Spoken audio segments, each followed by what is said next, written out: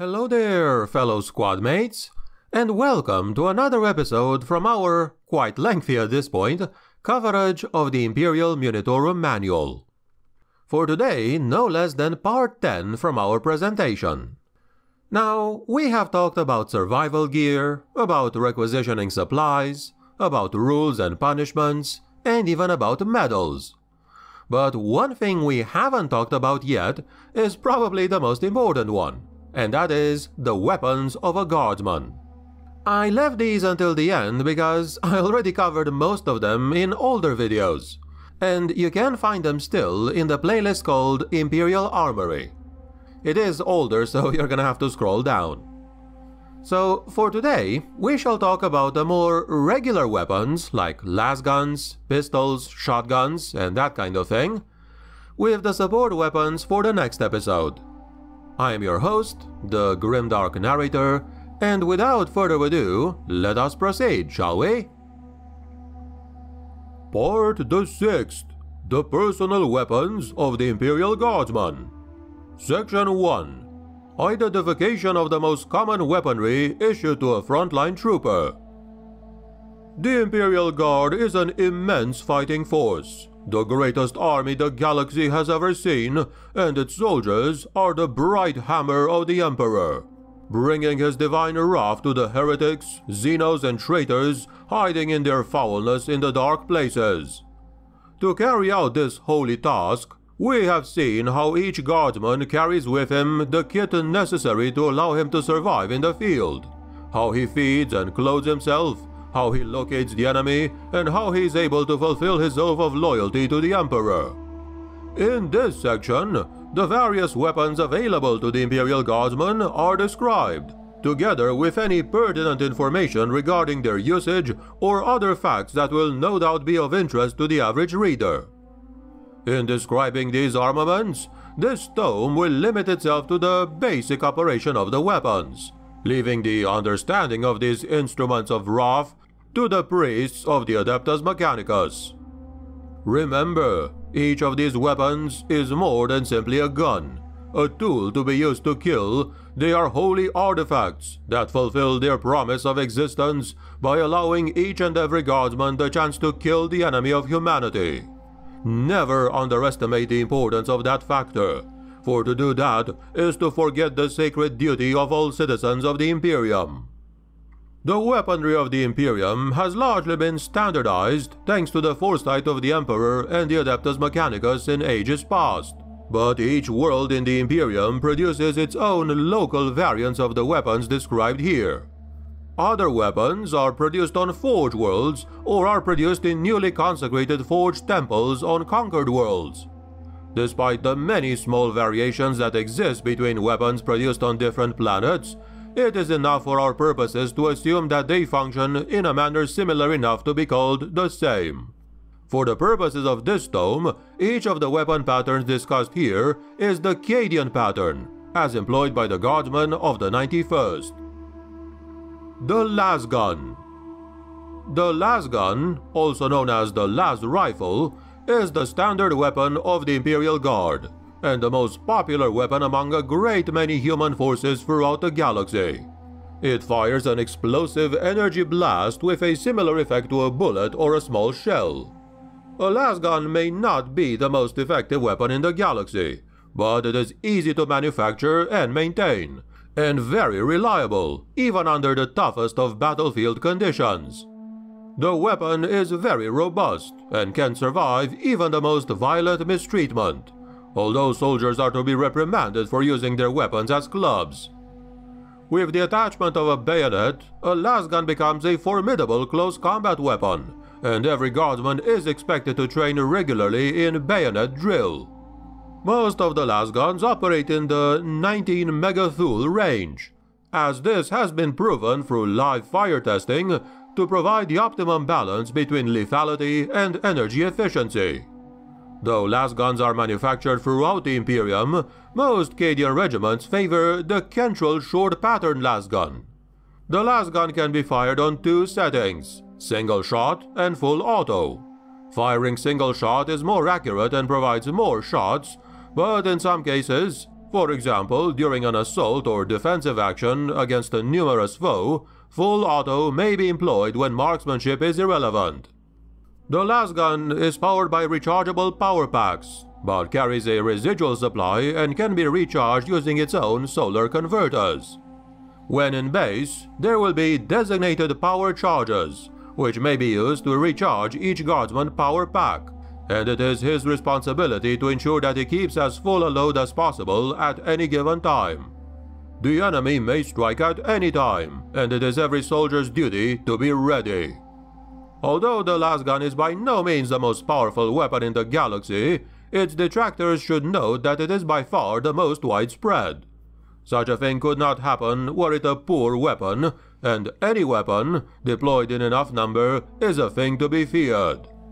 Thus, it is the perfect weapon for the soldiers of the Imperial Guard, for mass numbers is exactly where the Guard excels. The Long Las in addition to the redoubtable lasgun's many variants, there are certain types of weapon that exhibit differences enough to be considered separate weapons. One such weapon is the sniper variant lasgun, also known as the long las. Such weapons are only ever issued to the guardsmen who have displayed a flair for marksmanship, stealthy operations, and scout movement. For such weapons are difficult to produce, and require more training and intelligence to utilize properly. A long las is a modified standard pattern las gun with a 52-3 strengthened barrel, which is both longer and thinner than the usual model. The strengthened barrel allows for increased range and greater accuracy. The rifle does not have a charge setting slider, instead employing specialized ammunition known as a hot shot. A hot shot is a high power energy clip with a liquid metal battery that fires fewer blasts. A clip is only good for about 20 shots, but compensates with a far greater lethality index. Due to the increased power of the shot, the stress on the barrel is considerable, and due to the resultant metal fatigue, a sniper needs to replace the barrel with greater frequency than he would a standard pattern lasgun. A long flash suppressor fitted to the gun muzzle ensures that the telltale flashes of his shots do not betray his position, although standard practice is to relocate after each shot. The long las variant is quieter than a standard pattern lasgun, also working in the shooter's favor. The Power Packs Fortunately for the Imperial Guard, laser technology is reliable and easy to maintain and replicate. Although the shots fired are not as powerful as the weapons of the Space Marines, they are certainly the most trustworthy.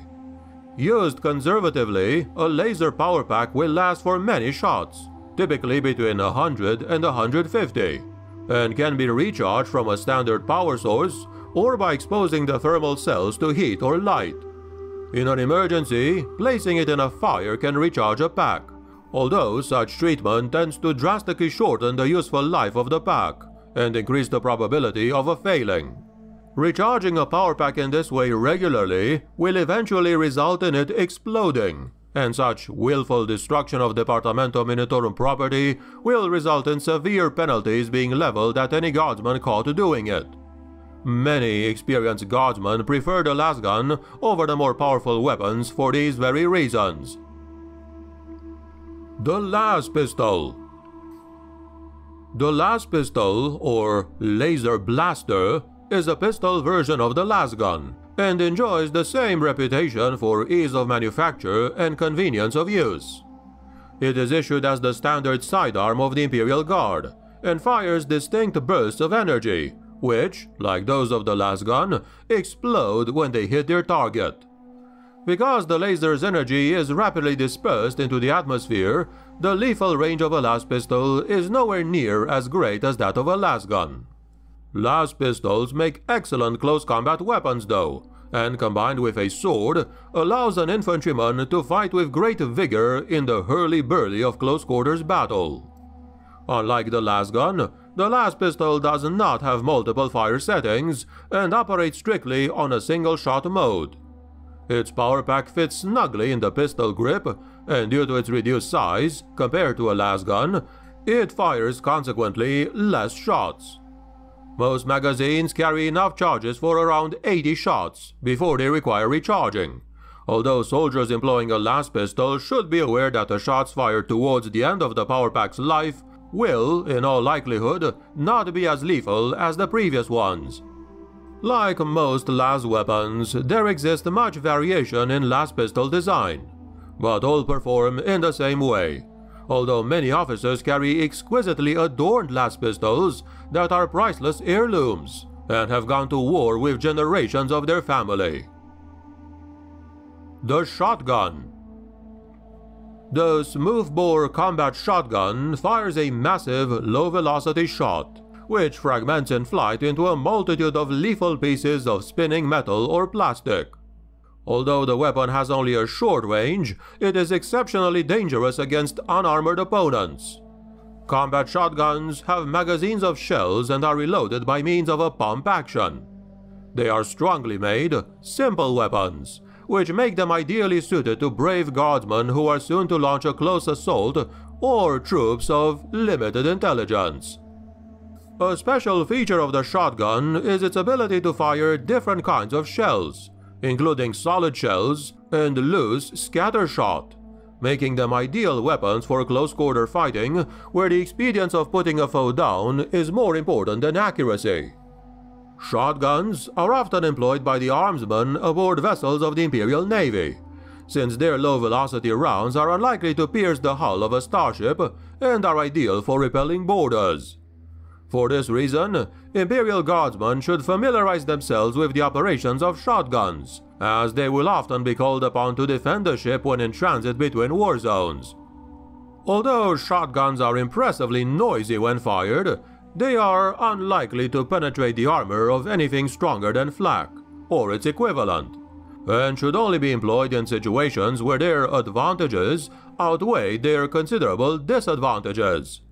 Against foes without armor or that scare easily, a shotgun is a desirable weapon, but in most other cases, a guardsman should rely on his trusty lasgun when in a combat situation. The Hell Gun The stormtroopers of the Imperial Guard are trained and equipped to much higher standards than normal infantrymen, and thus they are trusted with rarer and more specialized equipment than would normally be the case.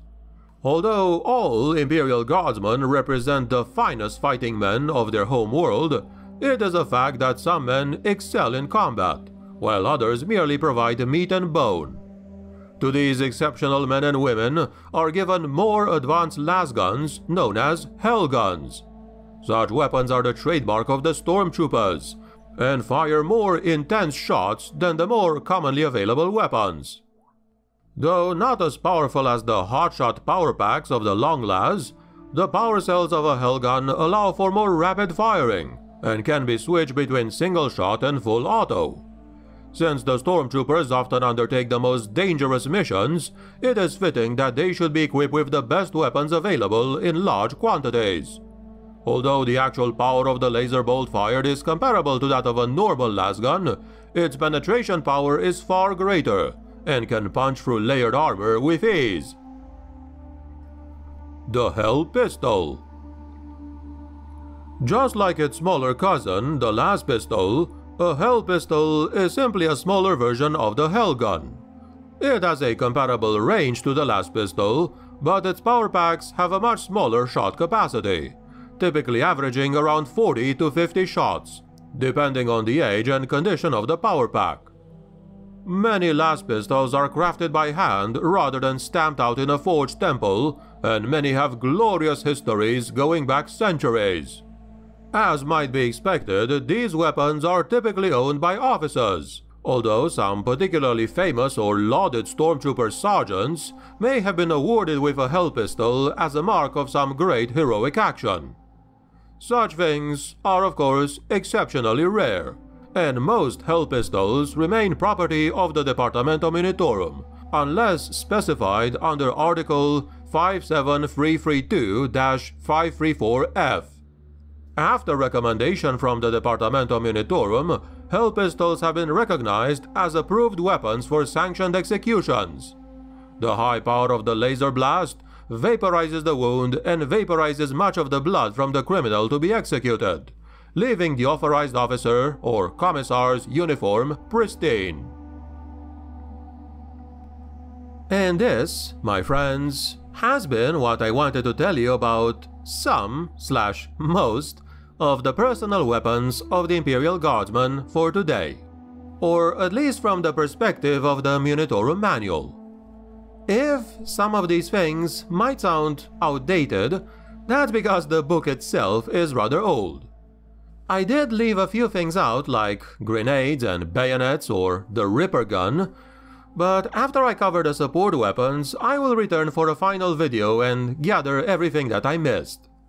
What are your thoughts on these weapons, and the Munitorum's description of them?